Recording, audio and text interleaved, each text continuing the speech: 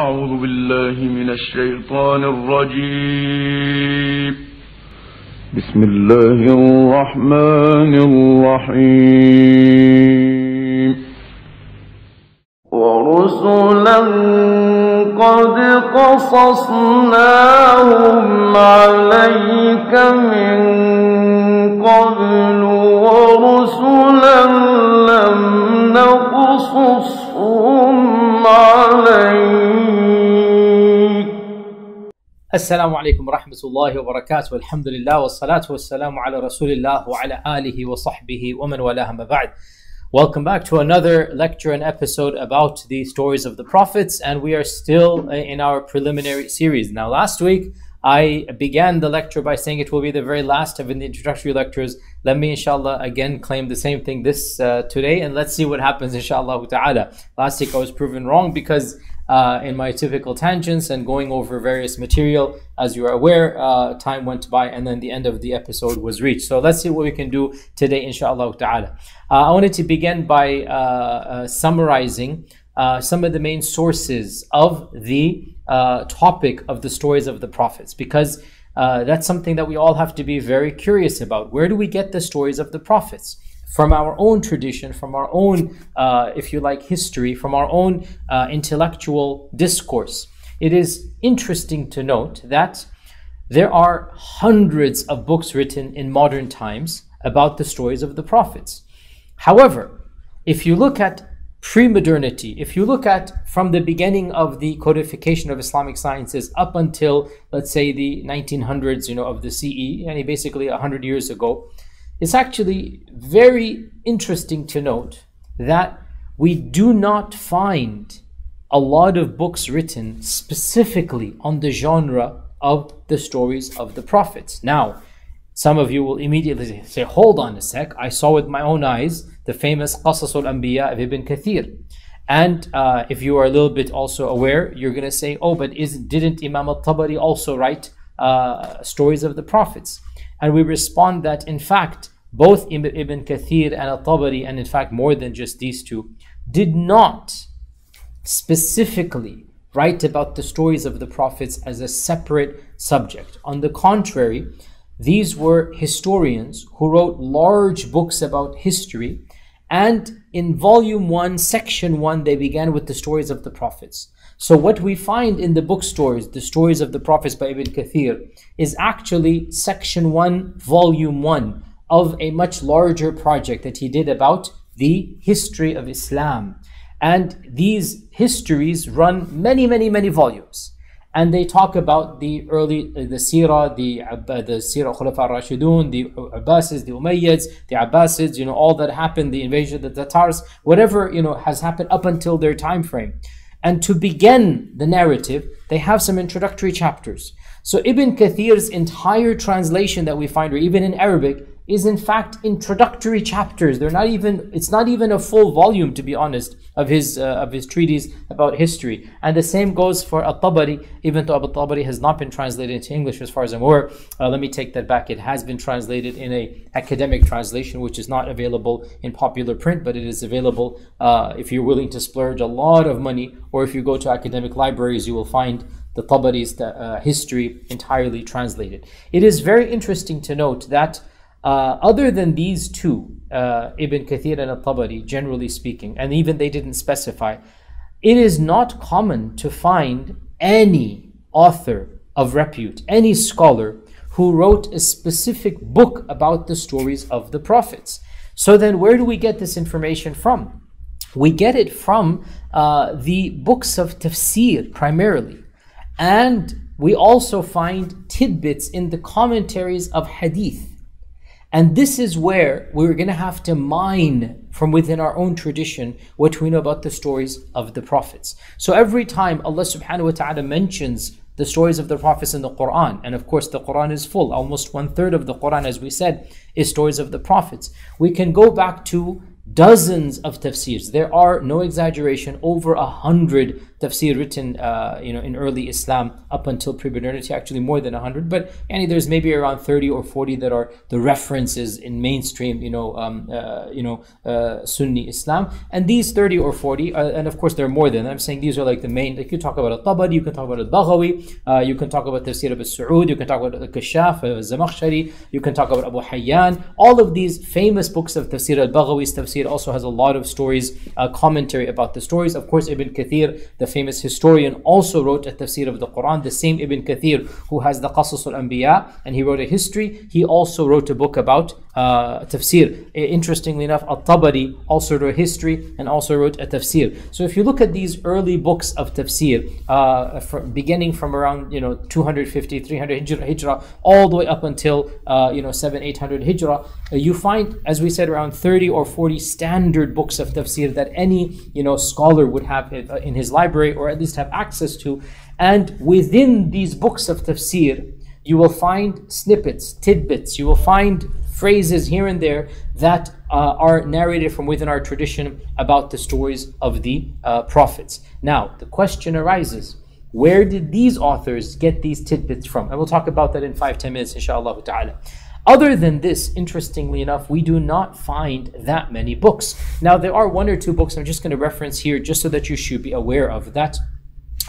Uh, just like in any civilization, just like in any culture, you know, you have the scholars you know, you have the intellectual giants, and then you have the figures that are more uh, literature based, more, you know, uh, novel writing, more mythologies, more storytellers, right? There are one or two uh, storytellers. There are one or two books written by people whom most of the you know average and even the students of knowledge haven't really heard of that much, and these are not scholarly references but you should be aware of them because I'm talking about the sources of the stories of the prophets. And I just want to point out that I am not going to reference these books at all because they are uh, not reputable whatsoever. They're simply mythologies or fables, if you like, written by figures who are more interested in stories than in academics. They're more interested in fables and in uh, simply narrating anything that they might have heard. And remember, you know, pre-modernity, remember civilizations of old, you know, the level of knowledge and the level of intellectual discourse was very different than it is uh, now. So we have a number of books that you should simply be aware of. Of them is uh, a book called Ara'isul Majalis, uh, which is actually a book about the stories of the prophets, written by Al-Tha'labi, who died 427 Hijrah. And uh, Ibn Taymiyyah and others, he say, uh, they say that Al-Tha'labi himself was a righteous man in his own life. He was a good man, but he didn't care about authenticity whatsoever. He simply absorbed everything without a filter and then put it into his book. And the even more apocryphal book, which is actually a very bizarre book written by an author that we don't know anything about, uh, really we don't have even, even a biography. All we have is a name uh, that uh, Muhammad al-Kisai, he wrote a book called Qasas al-Anbiya. And Qasas al-Anbiya, this person died roughly around 500 Hijrah as well. Uh, by the way, this Al-Kisai is not the famous Al-Kisai who's the grammarian and the Qari of the Quran. This is a Kisai that lived uh, 127, like 150 Hijrah era, that era, very early on. We're not talking about that guy. We're talking about another person with the same last name but a different first name, Muhammad Al-Kisai, who uh, really was basically a storyteller. That's all that he was. He didn't have any scholarly reputation.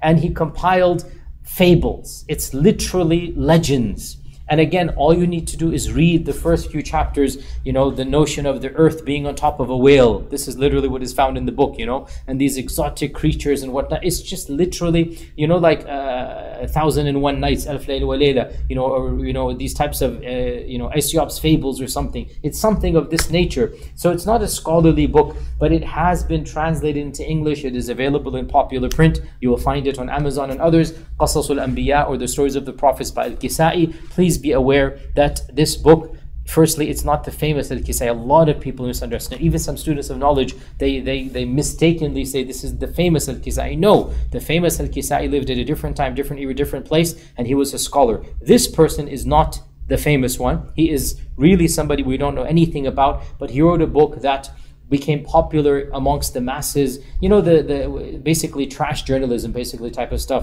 And it is just a bunch of exotic fables, you know, not no heads nor tails as we say in English, but it has gained traction in some circles and uh, it was translated into Persian as well. It was translated into Turkish, and then uh, two decades ago, I think three decades ago, it was translated into English, and it was then published as the stories of the prophets in Islam and whatever. Uh, this is not a book that we reference whatsoever. It is folklore and legends. It's not even, you know, uh, uh, Israeliyat, which, which, is we're going to come to uh, in a few minutes. Now, the point being, and this is a very interesting topic that I wish we had more time to go into it is very interesting to note that the topic of the stories of the prophets has not been given the type of dedicated attention that we now find this topic having in our discourse and vernacular. If you walk into a bookstore in Arabic or English about the stories of the prophets, you will find, as I said,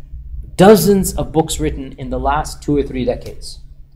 But ask about books written pre modernity specialized in stories of the prophets. Ibn Kathir does not count because eh, he didn't he didn't intend a book just for the stories of the prophets. He intended history, and they took, as we said, section one of volume one, and so it's there, but it's not. He didn't write a book just about the stories of the prophets. And At-Tabari, you will find it as well. He didn't do that. You will be hard pressed to find a reputable scholar who wrote a book just about the stories of the prophets. Now, why is this the case? Well, we can only surmise or guess uh, why this is the case is.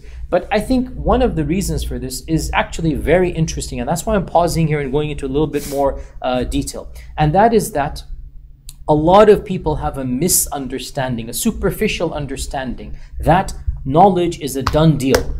Knowledge is a stagnant discourse that once you've done something, khalas, that is it. You can shut the book, close the chapter, you know, end the story, lift the pen. And there's nothing new to add about our knowledge.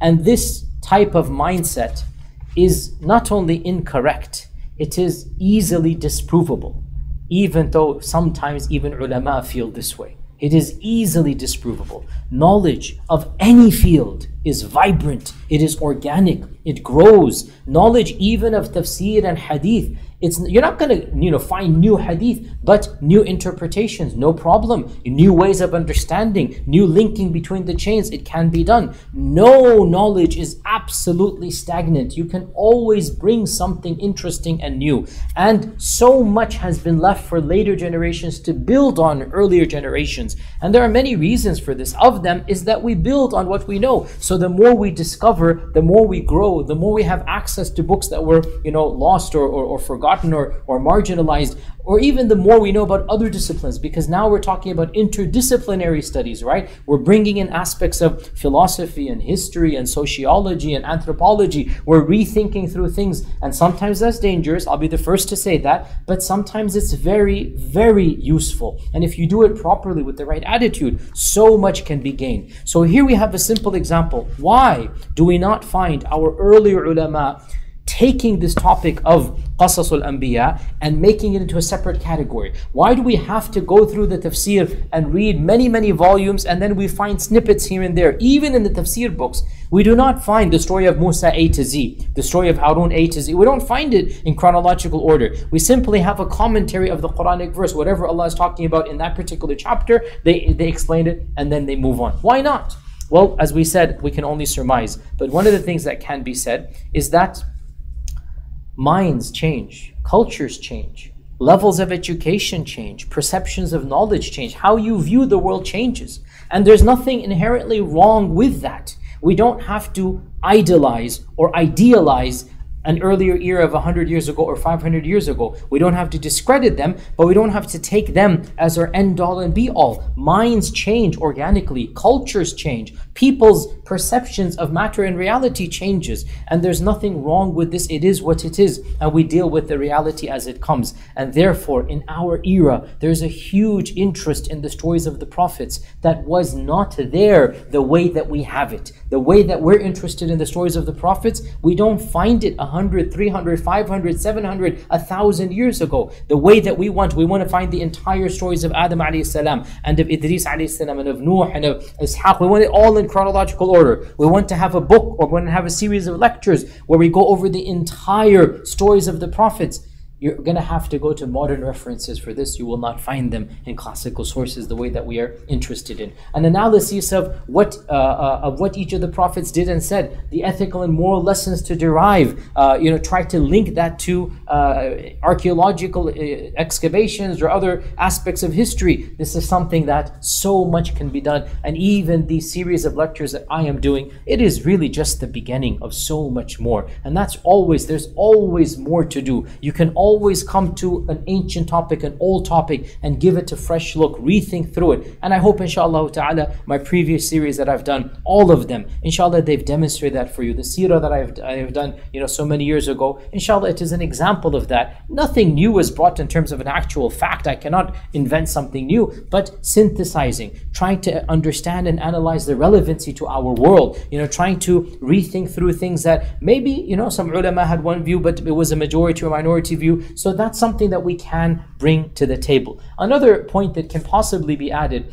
is that, and this is an interesting point, is that we now have a philosophy of education, call it a, uh, a pedagogy. We now have a way of wanting to teach others, and we understand the importance of the narrative and stories when it comes to teaching. Of course, the Quran preceded us in this because that's why one third of the Quran is stories. But we now understand that stories serves a mechanism or a tool in how to convey information. It's one of the most powerful mechanisms to convey morality, to convey uh, ideas. And we understand this better than perhaps some of our predecessors did. And if you look at any uh, educational, you know, philosophy or narrative, if you look at uh, the pedagogy of any uh, school, you will understand that of modern, you know, uh, psychologists have, have, have understood this reality. So our mindsets, therefore, are tuned differently. And we, as a product of our modern times, are also interested in studying our classical history in a different uh, manner. Perhaps one can also add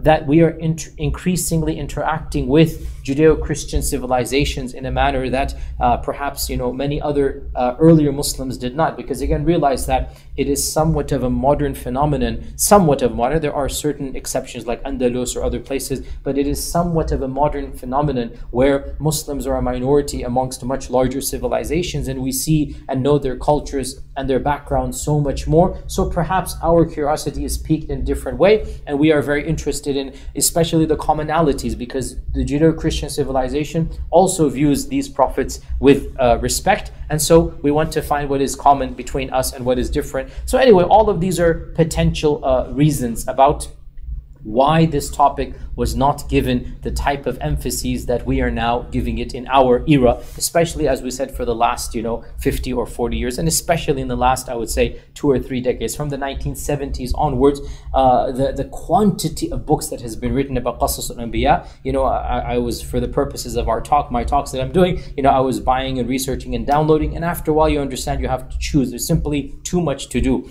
And there are different types of books. You have the basic books for children, you know, of the best of them them is by the famous Indian scholar uh, Abu Hassan Ali Nadwi, Allah yarhamu, uh, the Qasas al-Anbiya, which is really one of the best books written for children, and it has been translated into English and, and other languages as well. It's written in very simple and easy Arabic, and it's a very simple introduction to this topic. And then you have specialized books. I have a number of PhDs in my uh, library that are specific for, uh, let's say, the story of one prophet in the Quran, or, for example, uh, hadith about the various prophets, for example. So you have very advanced advanced books that are very specialized in a particular field and niche. And then you also have a lot of general introductions to the stories of the prophets. And each one of them has its pros and cons, its methodologies, and so on and so forth. So, the point of this first point was what are my sources? The response is there is no one source. I was asked this question a lot when I did the seerah, and if you go back to my seerah lectures in the first two or three lectures, I went over some of the sources and I and I categorized them and I mentioned them, and then for the rest of the seerah, I referenced them. When it comes to the Qasasul Anbiya, there is no easy list at all, and I can't give you any list. On the contrary, for every single topic, I will have to go to different uh, sources and uh, there are different genres of sources. Obviously, primarily, the first genre we turn to is tafsir, as we said. And then we turn to uh, the books of history, At-Tabari and Ibn Kathir. And then we turn to uh, other, I mean, obviously, the, the commentaries of hadith as well. But in my particular case, as I said in my very first lecture, I will actually uh, explore, uh, inshallah, unexplored territories. I, I, I, I have a different worldview, a different mindset, and I want to uh, go into details and, and tangents perhaps that perhaps are unprecedented. And I do understand uh, as usual, that will get me into my typical trouble and refutations, but so, so be it, inshallah. Allah is the final judge in the hereafter, and after we leave this world, our legacies and history shall also be our judge as well. And I ask Allah Azza for acceptance and ask Allah Azza for what I say to be of benefit for discerning people, even if it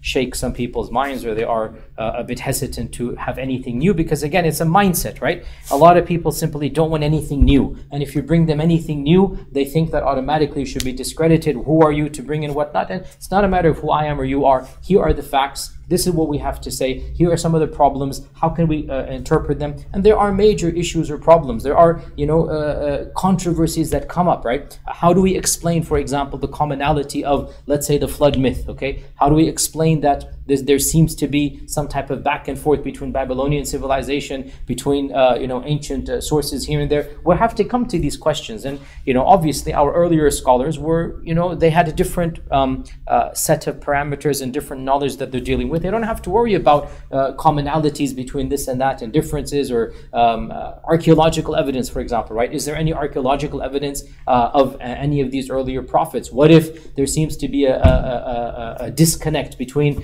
what what history uh, tells us based on archaeology versus what uh, tradition tells us. What do we seem to do? What do we do about that? These are areas that uh, are interesting, they're unique, they're unexplored, and I will try my best to at least begin the discourse. And you know, if I'm right, it is from Allah subhanahu wa ta'ala. If I'm uh, uh, incorrect, it is from me and it is from uh, the whisperings of shaitan. But I hope that at least by sparking this discussion, other people uh, will raise the bar and bring forth something new. So I will uh, go beyond just the standard narratives and traditional stories that are found in Ibn Kathir and others, and I will explore uh, other aspects. And you will, inshallah, see this in the course of the, the lectures that I am uh, giving. Now, when it comes to sources, inshallah ta'ala, I will try my best to reference everything that I say in a manner that is sufficient for uh, the advanced students without uh, harming the narrative style because again the point is that this is not an academic book this is a series of lectures. So i need to balance between those that are just interested in, in you know the end result versus those that might want to go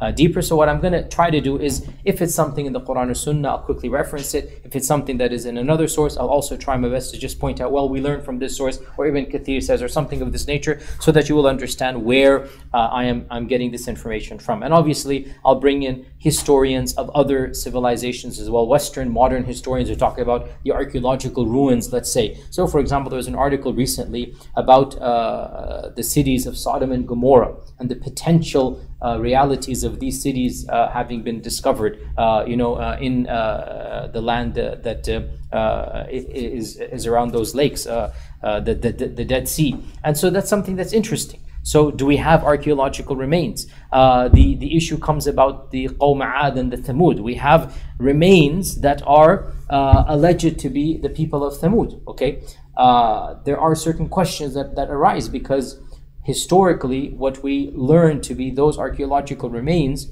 they do not date back to when Thamud would have actually lived.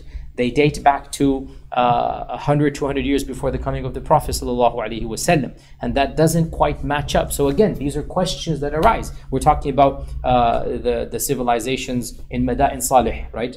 That if you date them archaeologically, uh, they go back to around 400, uh, 300 CE, many of those remnants there, Uh, uh, uh, which is basically 200 years or 150 years before the coming of the Prophet.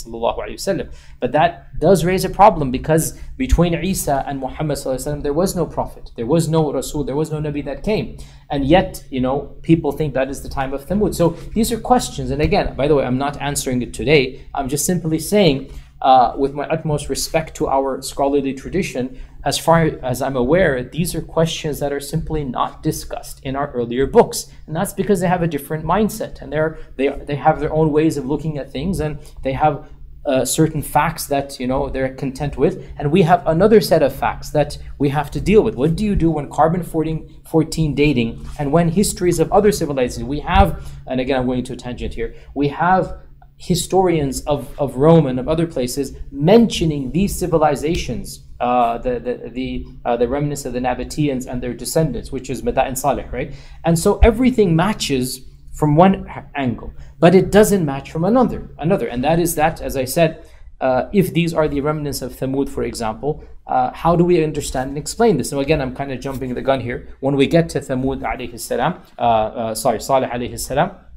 slip of the tongue, Salih alayhi salam, the people of Thamud. When we get to Salih alayhi salam, we will discuss these issues. My, my point being, I'm interested in them. That's the way my mind works. I want to go down these areas and tangents. There's no question that in exploring these difficult questions, I'm going to be bringing things that are new and it's going to raise some eyebrows and questions. A lot of people reject, a lot of people problematize. So be it. Uh, present a better position. That's my my my challenge. If you disagree with something, uh, no problem. I am simply presenting my own uh, evidences and research, and I expect you to then raise the bar, answer the questions that I bring, and then maybe present a better alternative. And in the end of the day, it's simply an opinion, and there's no need to you know do all of the types of uh, refutations or whatnot. That's really not something that I'm interested in. In any case, so this is our first point, by the way. We have two points today, inshallah, and then we are done, inshallah, for the introduction. So the first point was the sources, and I explained that we do not have a standard list, unlike Sirah, where we have a standard list of sources. Ibn Hisham and Ibn Ishaq, you know, Al-Waqidi, we have a standard list of sources.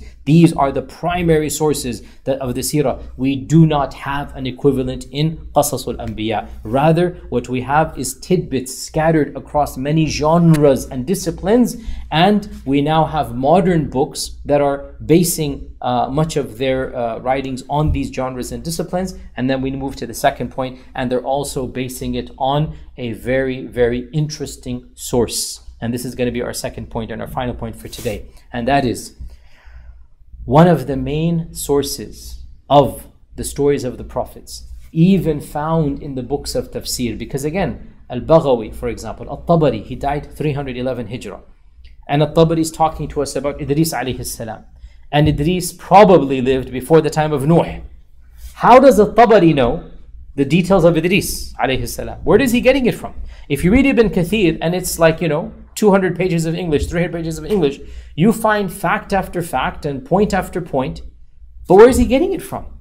How does Ibn Kathir, who died 774, how does Ibn Kathir, you know, rahimahullah ta'ala, know the details of Ishaq alayhi salam and his household? And the children of Ishaq. Where did he get this from? And Ismail and what happened there, and you know uh, uh, Yunus and whatnot. Where is he getting it from?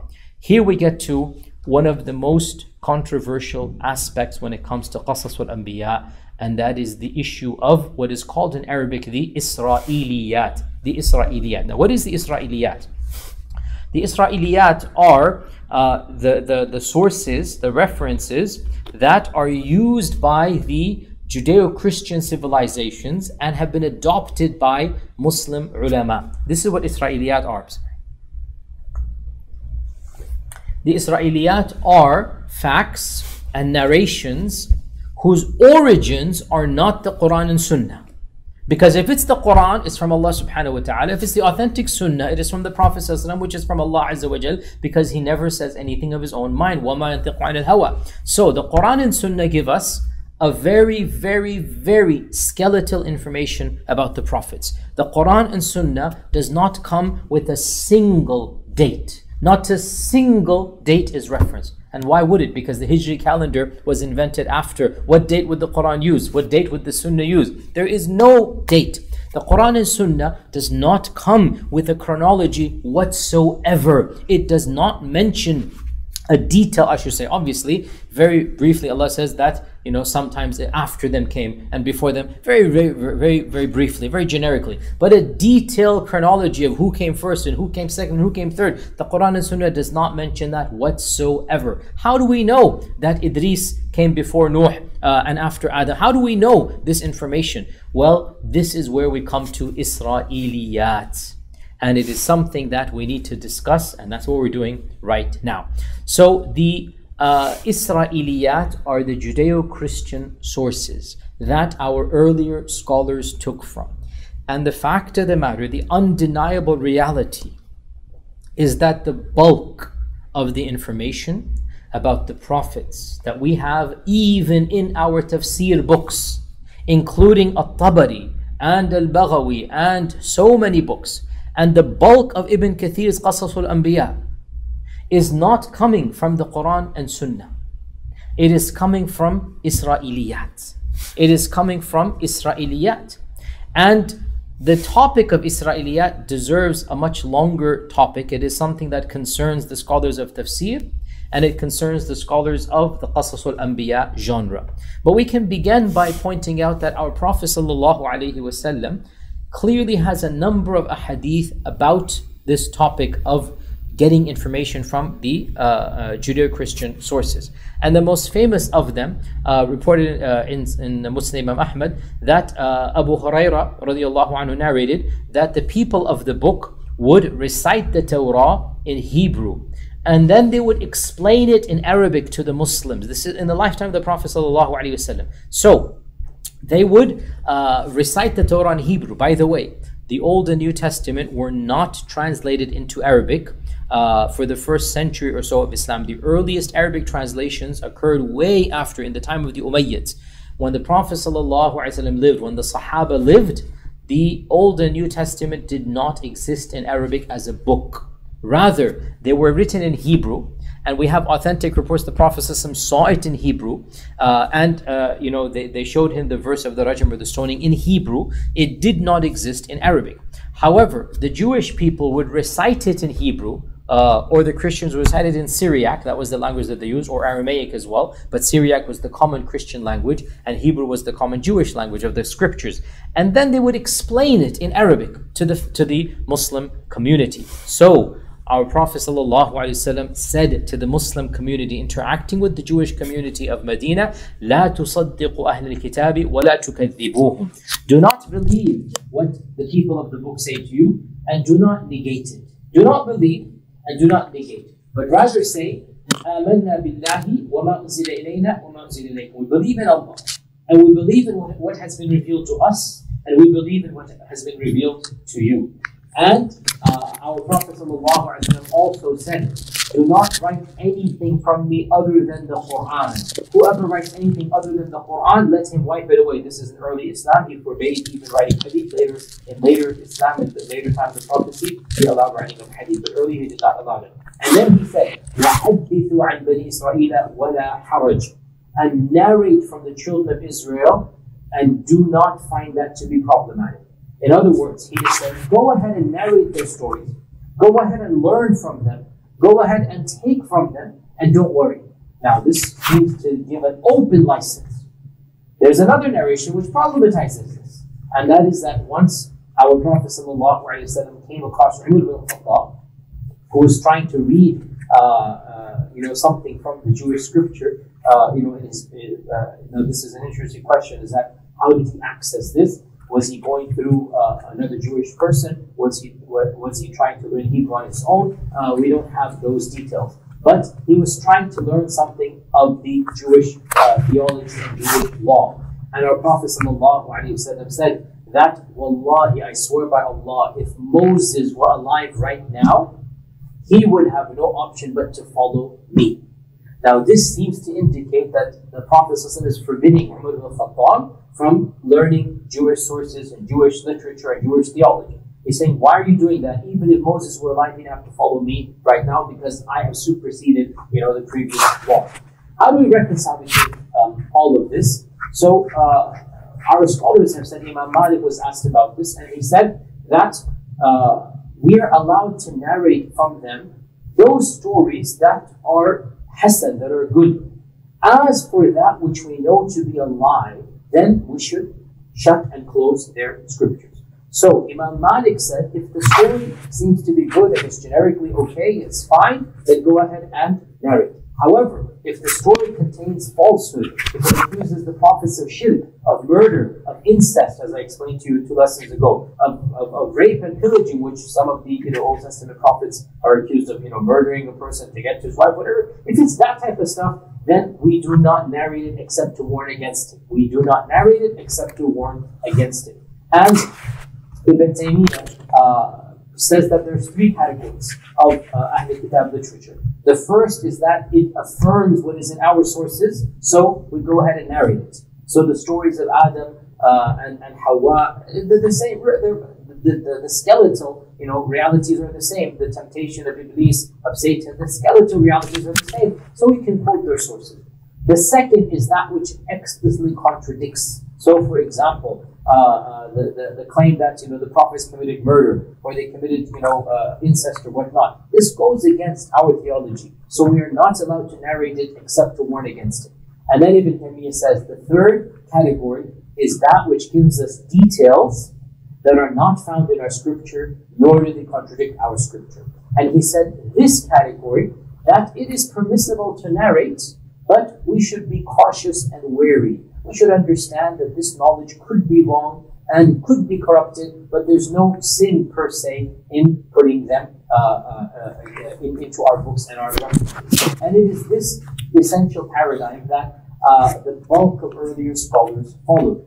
And you will not find any book of tafsir written uh, in the first five, six hundred years in which its authors completely refused to take any Israeliyat. Some authors are far more prone to Israeliyat than others, no question about that, right? You know, Al-Baghawi, for example, even Al-Tabari has a lot of Israeliyat uh, in his uh, in his um, uh, tafsir. And by the way, uh, what makes it even more complicated, you know, where do these Israeliyat come from? Did Al-Tabari himself read the Jewish scriptures? Well, maybe he did, but in reality, he didn't need to, because much of the Israeliyat actually comes from our own scholars of the earlier generations, some of them even Sahaba. And this raises very, very interesting questions that we don't have the time to get into. Maybe uh, uh, I do have more advanced classes. I teach, uh, and I teach classes uh, uh, at the seminary that, I, that I'm involved with. And in those classes, we do a lot more. This is still a very basic generic level thing. Uh, but to, to, to be very simplistic here, um, Al-Tabari does not have to quote the Jewish sources directly.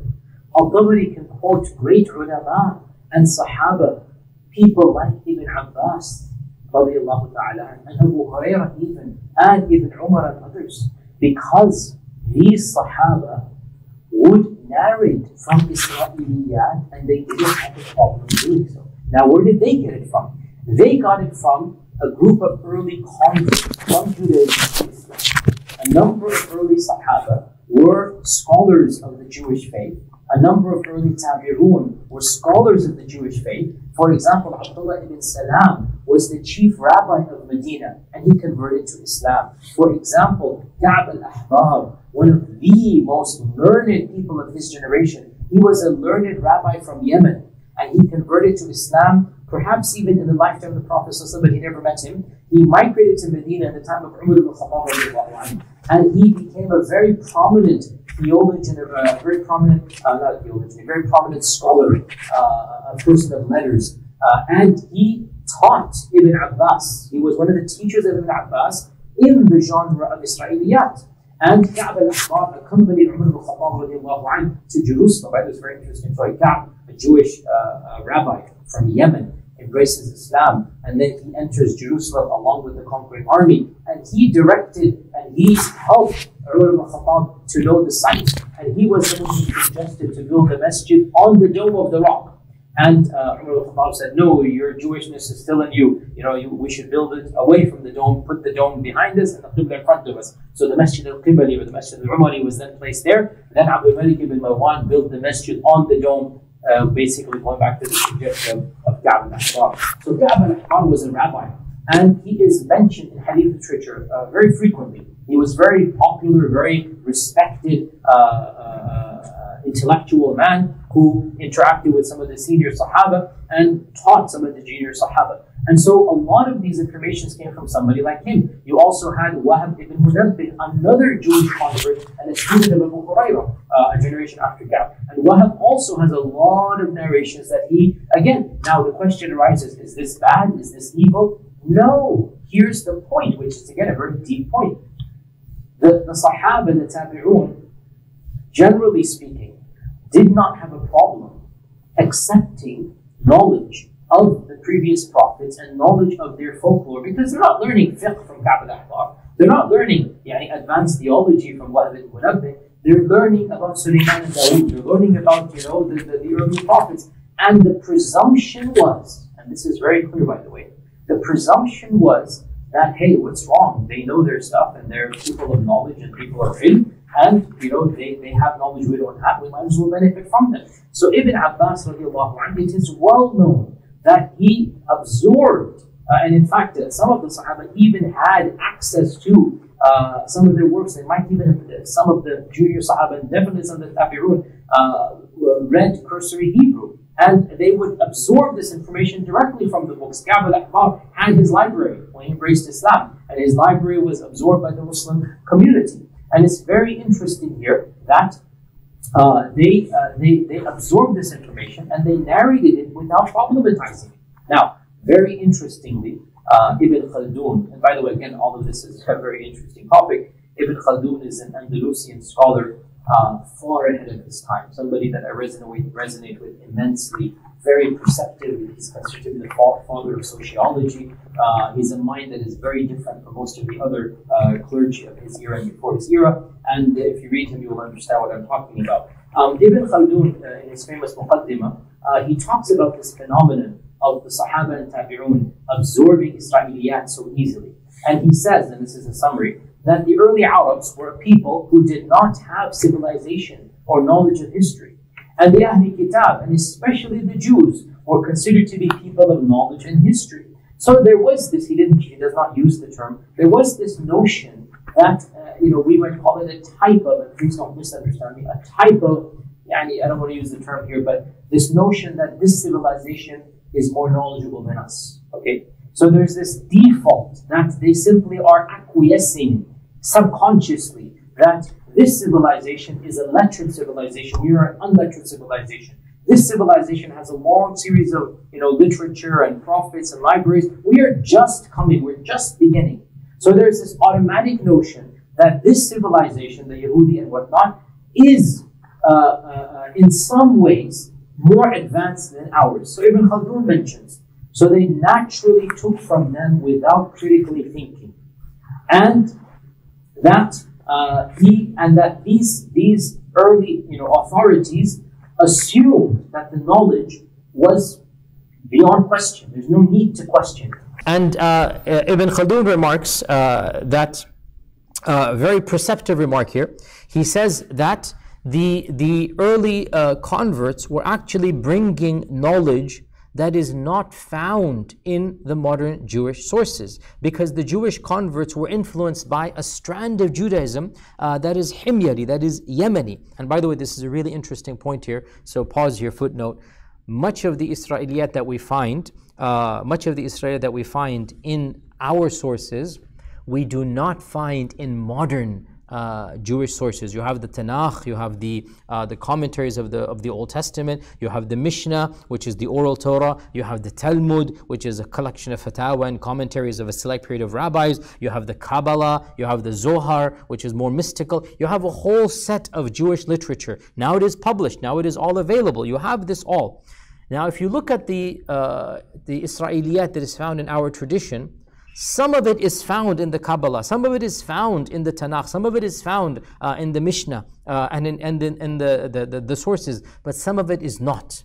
And the origin of that is basically strands of Judaism that modern Judaism does not have access to. So we actually have Israeliyat in our tradition that is not recorded by the Western branch that is now, you know, uh, printing books and whatnot. And that's a very interesting and advanced um, uh, topic that is beyond the scope of even my area of expertise. My point being, Ibn Khaldun mentions the psychological framework of why some of the earlier ulama did not have a problem in accepting accepting uh, uh, Israeliyat. And uh, later on, other ulama began to then become far more critical. This level of critical thinking, this level of rejecting Israeliyat is not found in early Islam. One of the, one of the uh, earliest critics of Israeliyat is actually Ibn Taymiyyah. Ibn Taymiyyah comes along and he finds the whole genre extremely problematic. He's not the first, but he's one of the first to really I would say, want to push the door shut to Israeliyat. He's not happy with Israeliyat and he wants to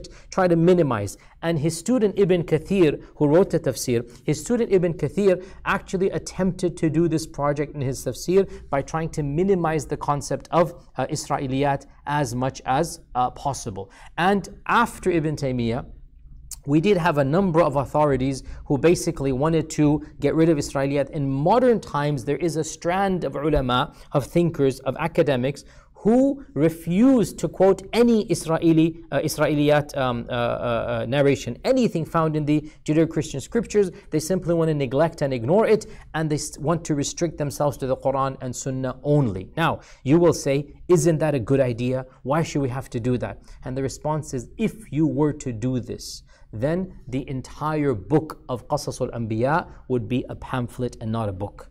And our entire series of Qasas al-Anbiya would simply go down to maybe four or five or ten lectures, well, being a bit, uh, you know, uh, uh exaggerating, maybe 15, 20 or something. And the bulk of what you have learned and heard about the Qasas al-Anbiya would be thrown out the window. You cannot write a extensive commentary of the Qasas al-Anbiya without resorting to Isra'iliyat. Ibn Kathir, the bulk of it is Isra'iliyat. Really it is. And to give you one simple example, the very chronology of the prophets, the very chart of the prophets that everybody talks about and it is found in every second Muslim household, right? Uh, the genealogical chart, you know, forget the fact that, you know, it is not authentic. Anyway, where does it come from? It comes from Israeliyat, 100% Israeliyat. It is found in the Old Testament.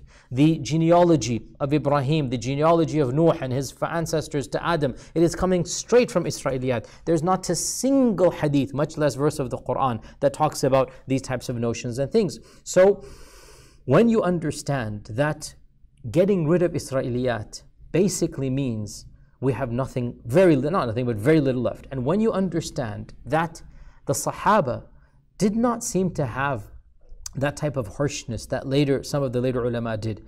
I think that we can find a reasonable middle ground, and that is that we really should not problematize Israeliyat as long as they do not explicitly contradict our theology and we point out that this is coming from the Judeo-Christian sources. And we say Judeo-Christian, in reality, is it is more Jewish than Christian, because again, Christian sources, they only talk about Jesus. They do not talk about the prophets before Jesus. And so only when it comes to Jesus Christ himself are we dealing with Christian sources about the birth and the times of Jesus. Otherwise, every other prophet, we're talking about the Jewish uh, literature, uh, which is basically, as we said, the Tanakh, which is the Old Testament, and the Mishnah, which is the oral commentaries that are then recorded, and the Talmud, which is um, uh, the collection of basically rabbinical folklore, not, not folklore, rabbinical uh, commentaries and rabbinical verdicts is more the, it's like a collection of fatwa. And it's all of these are, are available if you read Hebrew. Some of them have been translated translated into, into English, but the majority are still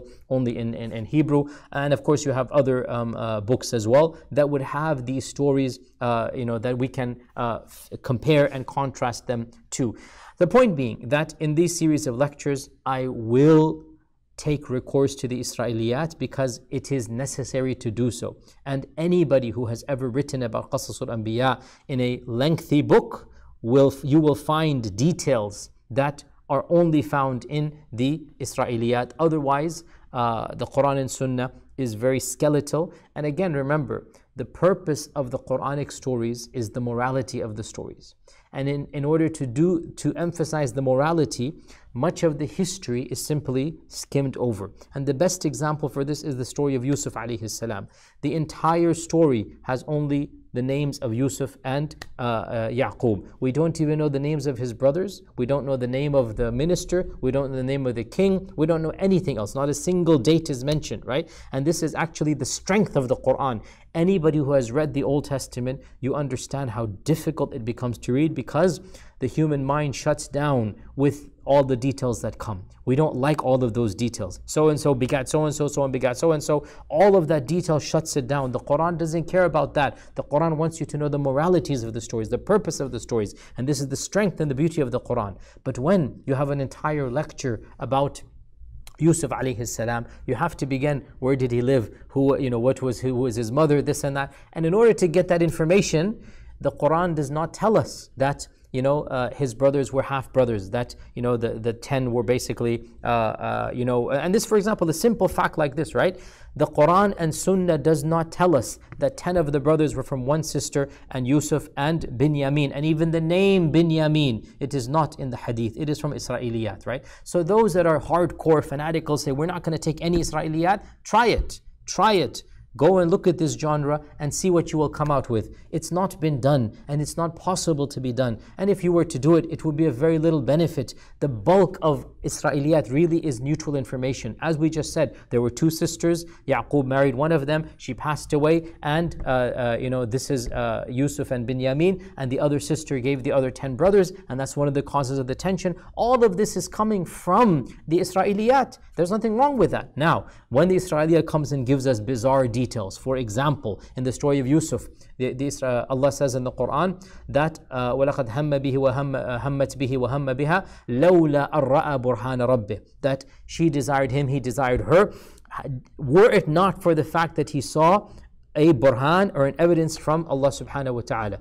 In the Israeliyat, some of the early scholars said, our own scholars, again, these are coming from our scholars from the Israeliyat. Qatada and others, this come from our ulama of the tabi'un, of the Sahaba, uh, some of them times from the Sahaba, and some of them from the tabi'un, tabi tabi'un. Our scholars quoted from the Israeliyat, and you find this in a tabari, and, and, and it says that uh, the wife of the, the minister, her idol was in the room.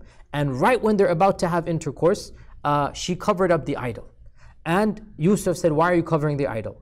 And she says, I don't want my idol to see this. And so Yusuf felt ashamed that if she's covering from her idol, then it is more befitting that I cover from Allah subhanahu wa ta'ala. And so he stopped doing the deed. Now, this story really does not make any sense.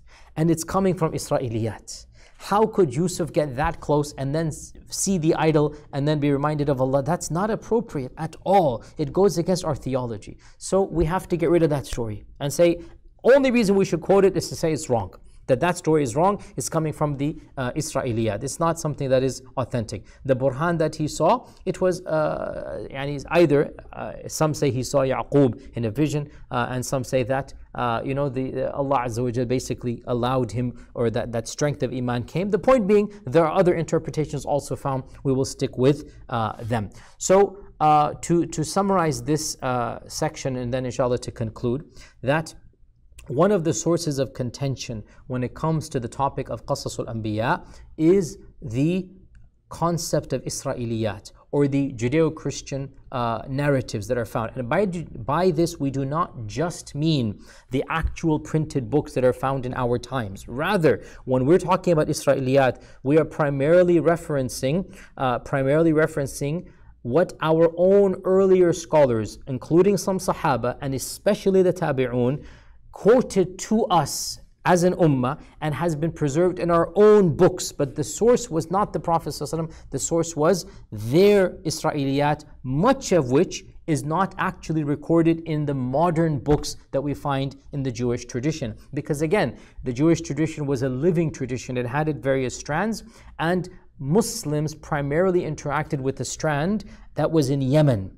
And the strands that are currently in vogue go back to Babylon and go back to Jerusalem. The Yemeni strand, the Himyari strand, it is a minority. It's still around, by the way. There's still obviously some Yemeni Jews, the Sephardics or whatnot, they're still there. Very small group of, of, of Jewish people. Uh, their ancestors, uh, they're, they're no longer in Yemen. They have moved to Israel and now their, their culture is now being completely gone and forgotten.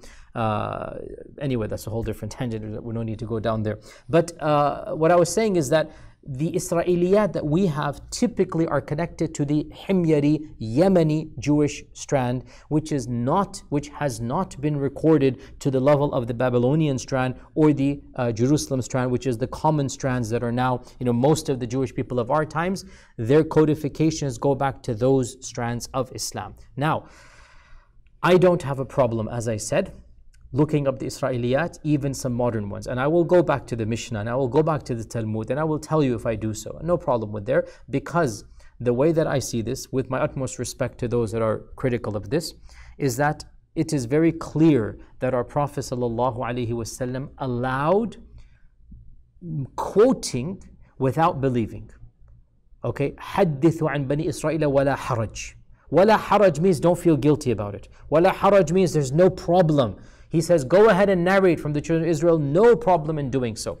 And we should have the same attitude. As long as, as Imam Malik said, as long as what we say doesn't contradict something that is clear cut, we have the authority to narrate, but we should not definitively believe as the Prophet said, لا تصدقوا ولا تكذبوا. Don't believe, but then don't deny it as well. So we can believe that Yaqub had two wives. There were two sisters. Um, sorry, we're not, we can narrate, not I believe, I meant to say, we can narrate that Yaqub had two wives, there were two sisters, but we don't have to take it as aqidah. If somebody were to say that's not true, we say, okay, maybe it's not true. It's not aqidah. Somebody doesn't become a kafir if he says Yaqub did not have two wives. Rather, he had three wives, and uh, some of the children are from there, some of them are from there, and some of them from there. So what? It doesn't change our aqidah. So I will be narrating from the Israeliyat and I will mention to you when I do so. And I will not just go to the Israeliyat in our tradition. As I said, I will look up the modern Israeliyat and I will look up modern information as well, which is beyond the Israeliyat. Now we're talking about actual facts here, archaeological and historical uh, facts that we know. Uh, we know quite a lot now that some of our earlier scholars did not know, and we should benefit and integrate between what we know. We know a lot about uh, Babylon, we know a lot about ancient civilizations of Ur, we know a lot about uh, the Nabateans. Why should we not take the knowledge that we have that is somewhat definitive? And if it's not then we'll say this is presumptuous. This is something that is there. It's not definitive.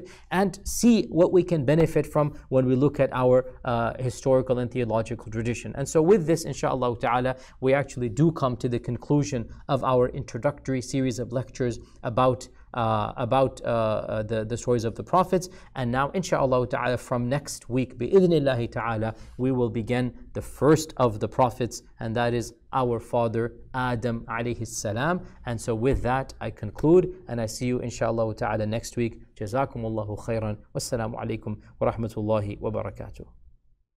يا من أجبت دعاء نوح فانتصر وحملته في فلكك المشحون يا من أحال النار حول خليله روحا وريحانا بقولك كوني